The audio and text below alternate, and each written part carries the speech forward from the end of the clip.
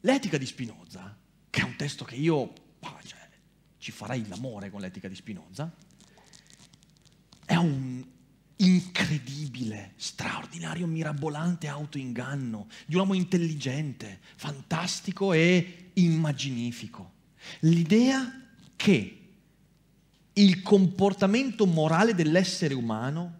quindi il suo fare il bene, il perseguire il male, derivi da un rapporto geometrico con l'etica e quindi che la nostra morale possa essere misurata così come misuriamo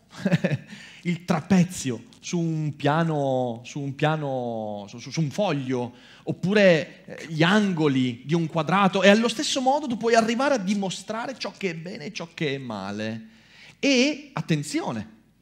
quell'autoinganno, noi lo sappiamo che questa cosa è